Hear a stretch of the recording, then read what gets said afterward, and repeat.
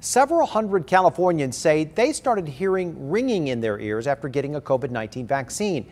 Now they're wondering if tinnitus should be listed as a rare side effect. Our ABC 10 News anchor Derek Staahl is going in depth to explain the link regulators have made to one vaccine but not the others.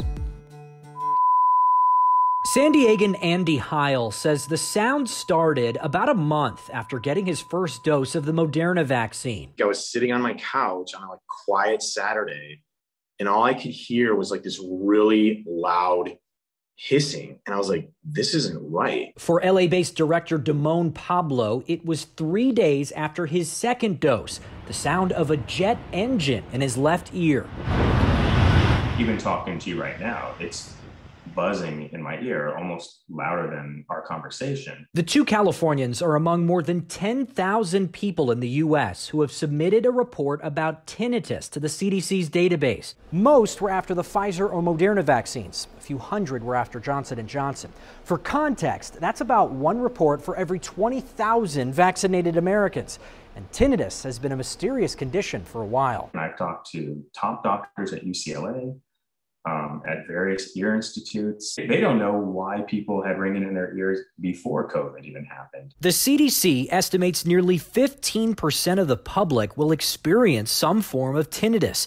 It can be caused by lots of things head injury, sinus congestion, stress, anxiety, autoimmune diseases, and high blood pressure. People get it after viral infections, people get it after vaccinations of other types people will get it sporadically. And so what's always difficult to figure out is whether these cases that people are talking about are because they had a vaccine or because they had some other viral infection or because some other trigger triggered it. UC San Diego infectious disease expert Dr. Robert Schooley says it's possible some of the cases were caused by an unexpected immune response to the vaccine or inflammation. But he suspects most cases of post vaccine tinnitus are probably a coincidence. Some of these tinnitus uh, reports happened within less than a day of the vaccination, and that would be way too fast for an immune response. Immune responses take uh, usually a week or two weeks. In August, both the FDA and the European Medicines Agency added tinnitus to the list of possible side effects to the Johnson & Johnson COVID vaccine.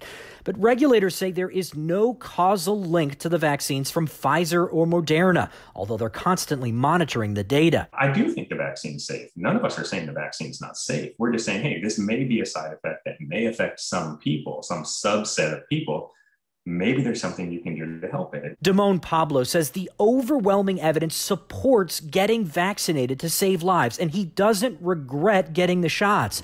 He just wants a way to turn the engine off. Derek Staahl, ABC 10 News. Doctors do say that tinnitus often resolves with the time, and the virus itself has been linked to hearing issues.